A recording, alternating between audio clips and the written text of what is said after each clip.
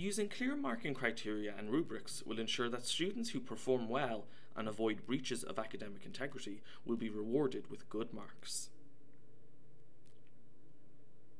Defining marking criteria in advance of the assignment submission and sharing that with students will enable them to know what to do to perform well and achieve good marks. Let's look at how you might do this by taking DCU's virtual learning environment Loop as an example. Devising marking criteria into a structured plan or guide will both help students align their own work to a standard and also help guide lecturers as they compose feedback and award marks for certain criteria. Each marking criterion is defined by a descriptor and a range of marks, or letter grade or scale, accompanies each criterion. Lecturers choose a mark that they feel corresponds with the quality of the student's work and they compose feedback specific to that student. Some benefits of using marking guides include allowing lecturers to award marks along a spectrum, allowing lecturers freedom to devise specific feedback for students, and helping lecturers to plan classes by easily identifying assessment criteria that can be aligned to the teaching and learning. In Loop, a marking guide can be created as an advanced grading method within an assignment.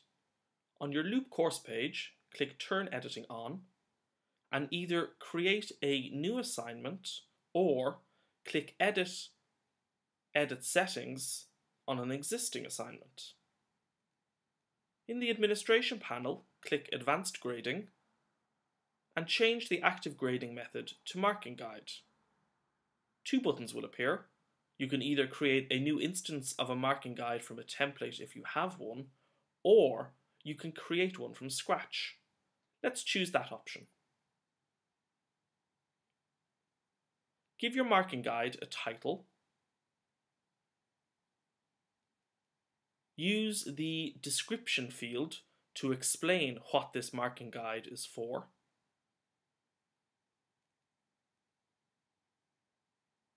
Scroll down to the criteria area. Here is where you will enter the detail of your marking guide. Think of a marking guide like a form. You move from top to bottom through each of the criteria composing feedback for students as to how well they met a particular criterion and allocating a mark from an available range. The description of each criterion should be meaningful and useful to students. Let's start creating our marking guide for this assessment. Simply click on the first field to edit the criterion's name.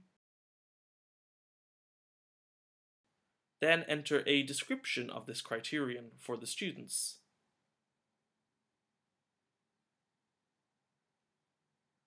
You can use the same description for the markers if you wish, or you may want to give additional or lecturer-only information in this field.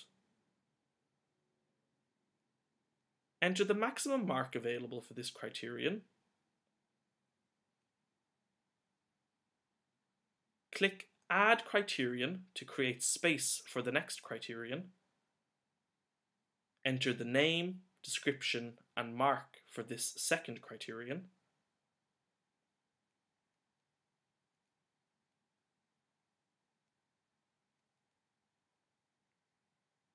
Keep working your way down the marking guide, adding as many criteria as you need. A useful feature of Loop's marking guide is frequently used comments. Lecturers can use this feature to create a bank of comments that they regularly use when composing feedback to students.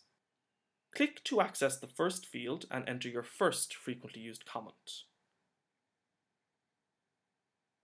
Click Add Frequently Used Comment to create a second field for your second comment.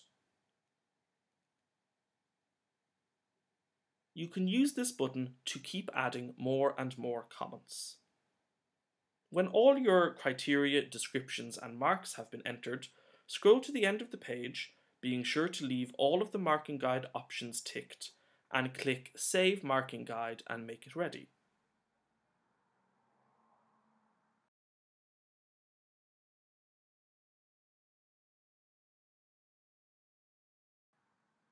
When students click in to view their loop assignment, they have access to the marking guide. So when they are preparing their assignment, they have clear criteria available to them. Creating a marking guide is quick and straightforward and provides a frame for lecturers to compose specific student feedback at a later stage in the assessment process. Consider co-creating a marking guide with students. This will create a sense of ownership and helps build capacity among students for the assessment task. See Principle 12 for more information.